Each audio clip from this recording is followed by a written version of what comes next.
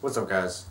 Um, I felt like making a video because I got onto my YouTube today and I saw that one of my close friends, a uh, good friend I've had since about freshman year in high school.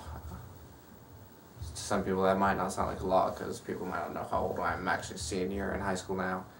Um, been really good friends with him for the past four years. Real good friends. I I see him every week, at least three or at least three times a week we go to the gym together same gym, comes picks me up because I'm along the way, and we go work out. Anyway, he posted a video today. Uh, not going to promote it because I don't know if he wants me promoting his video because he he has more subscribers. Um, you know, I don't want to ruin his his his uh, viewer base. Yeah, viewer base. Anyway, um, He's a cool guy. And his video was about uh, just team bodybuilding, motivation, and uh, real world problems. Real world problems. I'm sorry if my talking is a little weird today. I have a really swollen lip. Uh, I don't know why. It's swollen and I don't know if you can notice this. This lip's like ridiculously huge compared to this side. I don't know. It happened last night after I had Chinese food. I'm gonna get bitched at for eating Chinese food, but hey, the family was over. Fuck you. I'm gonna enjoy myself. Consider it my cheat meal. I don't believe in cheat meals to begin with, but whatever. Anyway, so I wanted to touch base on that a bit. Uh, the way to keep motivated, um, keep yourself going, things that drive you. Um, in his video he states how like he all he started working out back freshman year and it progressed progressed or progressed for the past four years. And i'm the same way. Three years. Three years. Three years. I'm the same way. I started back and um, technically actually i started working out back in eighth grade. And I, I did i did nothing but bicep. I did nothing but I just sat there on my bed, just did concentration curls. Do that because, you know, I can't just sit here and do that as concentration curls, not concentration curls. I only have a 15 pound dumbbell. I still use that 15 pound dumbbell, not to lift, but as a door weight because I don't use 15 pound dumbbells unless I'm doing like frontward rows with my shoulder because I have really bad shoulder, just popped. Um, motivation. I don't believe you really need motivation. If you, I wouldn't call it motivation. I'd call it your own self indulgence. Once you start working out, it becomes always relatively like a drug to you. You want to do it. Like you start doing it, you get results. It's addicting.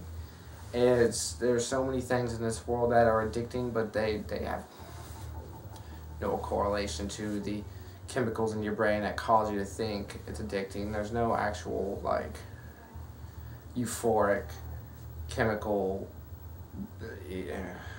whatever. The point is it's addicting.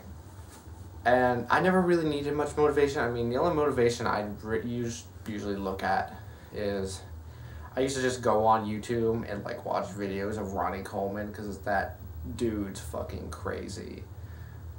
I don't remember how much it was, but the dude was like 200 pound dumbbells. and things were like 200, 300, like that big. Like fucking huge. And he was like chest pressing them. It was like crazy. It was like, I, I want to be big, but not that big. But it was, it's, it got me motivated in a sense. It kept me going. It, kept, it pushed me to strive for better, better things, much better things. And you, you should self, self, um, motivate. You don't need to watch videos. Self motivation can come from anything, just a wanting to better yourself in general. Whether it's you want to lose weight because you're obese or mildly overweight, or you want to gain muscle because you're like me, you're a guy, and you know, elementary school, middle school, no one really looked up to you. No one was really like, oh, that guy, he's cool, he's cool. I was always that, that kid that always stuck to the side and got picked on every now and again. I just took it, you know? Cause I was, I was, um, young, I was small, I was stupid, and back where I went to school, there was, and forgive me if this offends any of you, wigger ass bitches. Nothing but white dudes sagging their jeans down there. Sorry from showing skin. I am wearing underwear, so get over yourself, and like you guys don't like it. But what I'm saying is like, you don't, you, you self motivate. Self motivation is the strongest form of motivation, I think. If you have the motivation to want to better yourself, you're going to strive that much more to better yourself as a whole, as a person, physically, mentally, any any way. And, and when it comes to bodybuilding, lifting in general, uh, you you you strive for that self motivation. You strive for that extra rep. You strive for that extra ten pounds you're able to push that next week, next month, whatever. Like my motivation, my motivation is when I look in the mirror, I don't want to see some scrawny bitch boy, which I am right now still.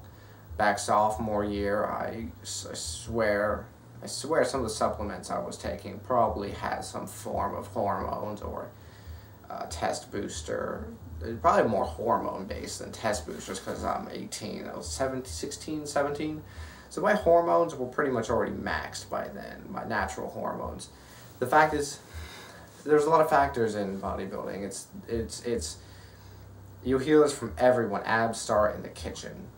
You need to eat right. You need to just buckle down on things. Today was one of my fast days. I fasted today. I was supposed to work out today, but I, I guess you could sort of say I did work out today. Um, anyway, I didn't eat for a long time. Um, when did I eat? I think I ate at 2 o'clock. Uh, didn't eat breakfast. So 8, 9, 10, 11, 12, 1, 2, 3, 4, 5, 6, 7, 8, 9, 10, 11, 12, 1, to about 18 hours. 18 hours. And the meal I had, I cooked a half cup of brown rice. Brown rice. I love brown rice. I can't stress you how much I love brown rice, how much, how good it is for you too.